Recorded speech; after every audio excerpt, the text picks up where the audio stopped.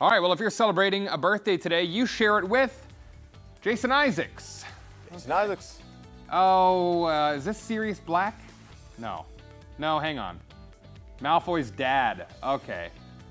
All right. Uh, let's see. 61. I'm gonna go. I think you're pretty close there. I'll, let me go 59. 60. You're- Gotta be kidding me, dude. Give me a break. Knew it. Knew it was going to happen. Knew it was happen. Malfoy, the ultimate. Do you know who my dad is? Energy. That's, that's Malfoy for you right there. All right. Robert Englund.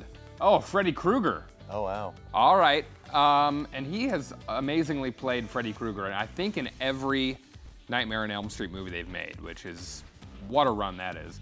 Uh, so I'm gonna go with that in mind. 71, 68.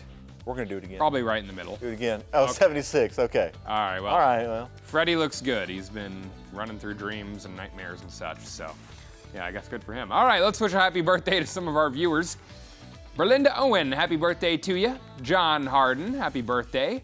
Hey, Jerry and Pat Hood, celebrating 59 years of Congratulations. marriage. Congratulations to you all.